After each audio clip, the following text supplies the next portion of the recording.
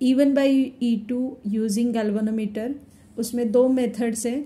एक individual method रहती है और एक सम एंड डिफरेंस मेथड कौन सा भी एक क्वेश्चन आपको आएगा इसमें। फ़र्स्ट का फॉर्मूला है E one by E two equal to L one by L two ये याद रखो कि ई e वन ये ई e टू से डबल रहता है। तो एल वन भी एल टू से डबल आएगी। और जब आप रीडिंग लेते हो तो आप टैली कर सकते हो, आपका रीडिंग करेक्ट है या रॉन्ग है। सम और डिफरेंस में E one plus E two upon E one minus E two equal to L one minus L one upon L two तो वही आपको E one by E two equal to L one plus L two upon L one minus L two ये sum difference है। दोनों का एक एक reading मिलता है। सम का reading always greater than difference वाला।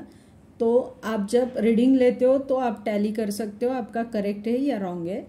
इंटरनल रेजिस्टेंस के लिए small R is equal to L one minus L two into R S upon L two R S ये शंट रेजिस्टेंस है, जो आप पैरेलल कॉम्बिनेशन में सेल को लगाते हो। और एल वन जब ओपन सर्किट है, तब का बैलेंसिंग लेंथ रहता है।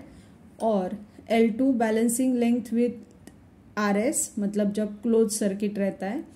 और R internal resistance of cell है। यहाँ पे आप हमेशा याद रखो कि L one is always greater than L two क्योंकि ओपन सर्किट का जो बैलेंसिंग लेंथ है, वो आपको क्लोज सर्किट में कम मिलती है।